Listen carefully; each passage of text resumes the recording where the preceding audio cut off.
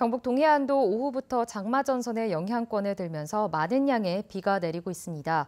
많게는 60mm의 비가 예상되는데 이번 장맛비는 내일 낮부터 차차 그치겠고 울릉도와 독도는 밤까지 이어지겠습니다. 안수진 기상캐스터입니다.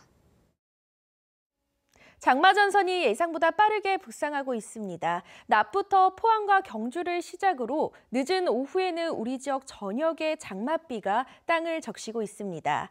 이번 비는 내일 낮부터 서서히 그치겠고요. 밤에는 완전히 소강 상태에 들겠습니다. 예상 강수량은 20에서 60mm인데요. 이 시간당 30mm 이상의 강한 비가 오는 곳이 있겠고 돌풍과 함께 천둥 번개 치는 곳도 있겠습니다. 안전에 유의하셔야겠습니다. 남쪽에 머물고 있는 더운 공기로 인해 비가 와도 기온은 떨어지지 않아 내일도 후텁지근하겠습니다. 자세한 내일 날씨 알아보겠습니다. 내일 흐리고 비가 내리겠습니다. 아침 기온 19도에서 23도, 낮 기온은 25도에서 31도입니다.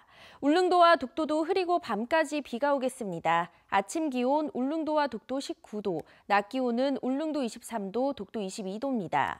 동해상으로도 흐리고 온종일 비가 내리는 가운데 동해 남부 해상으로는 안개가 짙게 끼어 주의가 필요하겠습니다. 바다의 물결 동해 중부 해상에서 최고 2m, 동해 남부 해상에서 최고 2.5m까지 일겠습니다. 이 주말에는 다시 장마 전선이 북상하면서 일요일 오전까지 비가 내리겠고요. 이번 장마는 7월 말까지 지속될 것으로 예상됩니다. 날씨였습니다.